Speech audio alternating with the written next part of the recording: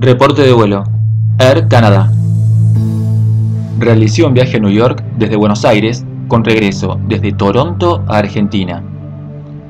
En el viaje de ida estaban programadas dos escalas, una en Santiago de Chile y otra en Toronto. En el viaje de regreso desde Toronto a Buenos Aires, una escala programada en Santiago de Chile. El día del vuelo, un 31 de diciembre de 2017, al llegar a Ezeiza, me sorprendí ante la propuesta que me hizo la aerolínea al hacer el check-in. Me ofrecieron cambiar de vuelo. Viajaría por American y llegaría de manera directa, sin escalas, o al menos eso me dijeron para convencerme. Pero saldría al anochecer, y mi vuelo estaba programado para la tarde. La causa obedecía a una sobreventa de los pasajes. No acepté. De todas maneras, el vuelo desde Seiza salió con dos horas de retraso. Pensé que era un caso excepcional. Bueno, no me quejé. Además, era el último día del año y me dispuse a pasar año nuevo en el avión. Al llegar a Santiago te obligan a bajar del avión, hacer los trámites de control de documentación con las autoridades chilenas y volver a subir para afrontar el resto del viaje. Al llegar a Toronto dije, bueno, ahora todo va a ir bien, es año nuevo. Pero no, tuve que sufrir otra demora de dos horas.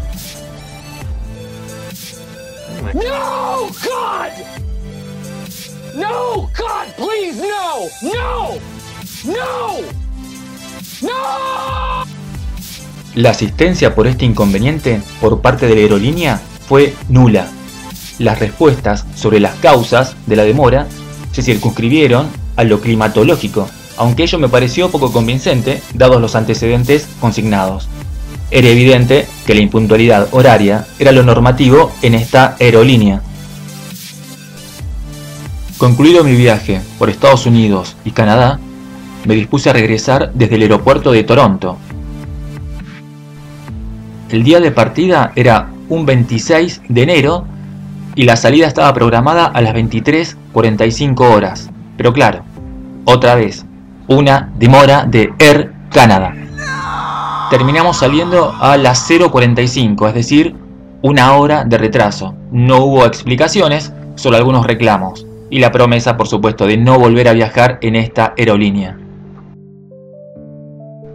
Al llegar a Santiago, otra vez, te obligan a bajar del avión porque tienen que limpiarlo, según dicen, y por exigencia de las autoridades chilenas. Vaya a saber uno cómo podría facilitarse esto.